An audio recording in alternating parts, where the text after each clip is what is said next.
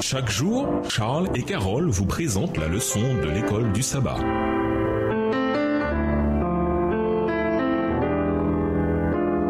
Bienvenue dans votre émission. Dieu nous parle. Nous voilà la leçon de vendredi. Pour aller plus loin, au plus fort d'une vie d'intense activité, Enoch maintint fermement sa communion avec Dieu. Plus ses travaux étaient importants et pressants, plus fréquentes et plus ferventes étaient ses prières. Après avoir vécu au milieu de ses semblables, s'efforçant de leur faire du bien par ses paroles et par son exemple, il s'éloignait et passait quelque temps dans la solitude, recherchant ardemment cette connaissance de l'Éternel que lui seul peut donner. Une telle communion avec Dieu mettait Enoch à même de refléter toujours plus fidèlement l'image divine. Son visage était baigné d'une lumière céleste, comme celui de Jésus. À son retour parmi les hommes, même les impies voyaient avec un respect mêlé des fois l'empreinte du ciel sur sa personne. Extrait du livre Le ministère évangélique, section 2, page 48, livre écrit par Ellen G. White. Bien que l'histoire d'Enoch ici soit encourageante et qu'elle ait quelque chose de fort à dire sur ceux qui choisissent d'avoir des temps de solitude, beaucoup doivent affronter une solitude qu'ils n'ont pas demandée. Ils ne veulent pas être seuls. Certes, à nouveau, nous pouvons toujours avoir une joyeuse communion avec le Seigneur, qui est toujours présent, mais parfois, nous avons vraiment envie d'amitié et de camaraderie humaine.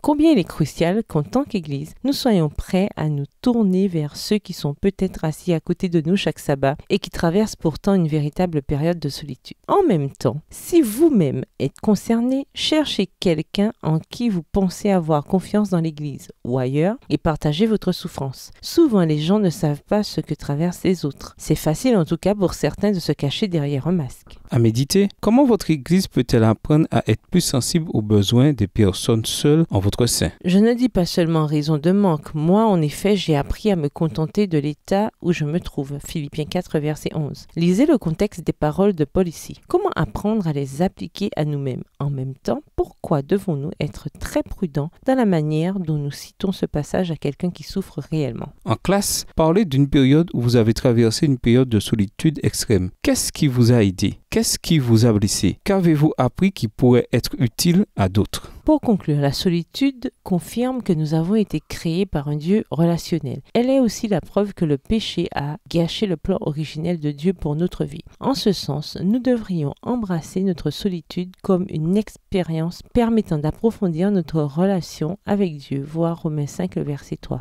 Plutôt que de prétendre que nous ne sommes pas seuls, nous devons reconnaître ce sentiment et permettre à Dieu d'œuvrer en nous à travers la solitude. Si nous trouvons notre compagnie principale en Christ, il nous conduira vers une communion fraternelle chrétienne qui atténuera les sentiments de solitude qui nous assaillent. Au revoir. Et à demain si Dieu veut.